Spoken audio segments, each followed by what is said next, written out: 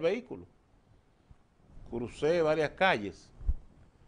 Alberto, yo encontré la gente Normal. en verano, Normal. un domingo de verano. Pero usted ve por qué yo le dije que, por ejemplo, aquí, mire, eso es, eso es ahorita, cuando yo venía para el canal.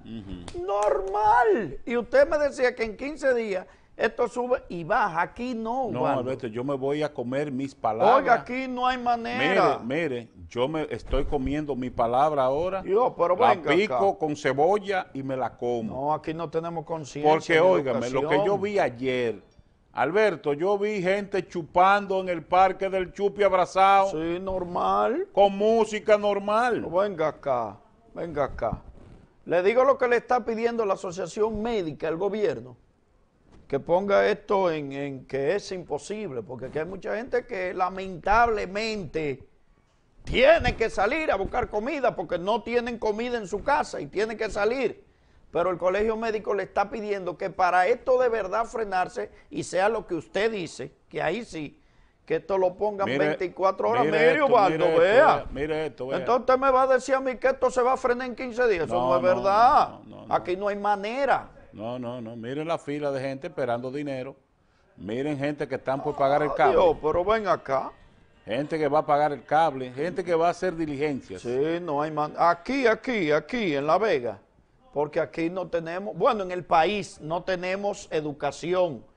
El fin de semana, señores, aquí se apresaron Mire, vea dos mil y pico de Este es un gente. día de carnaval en La Vega. En República, bueno, en la capital, y solo en la capital, dos mil y pico de gente apresada por un toque de queda que hay, cuidándole la salud a la gente, y la gente sale a burlarse. Parecería que el virus nada más se pega de noche. Ay, Buenas tardes, Bueno, a la orden. Alberto, para decirte que en Villa Francisca, en un almacencito que hay por ahí en la parada, Sí. eh, salami de, de el estelar de 240 está hoy a 360. No lo compre, punto. Sí, no le compre Ahí pasó. eso, exactamente. no lo compre, compre huevo. Y vaya o vaya a otro vaya a lado, otro ahí lado. no compren nada. Porque es que, es que, mira, ingiriendo bebidas alcohólicas y jugando vitilla y domino, sin problema. Oiga lo que dice este borracho, oiga.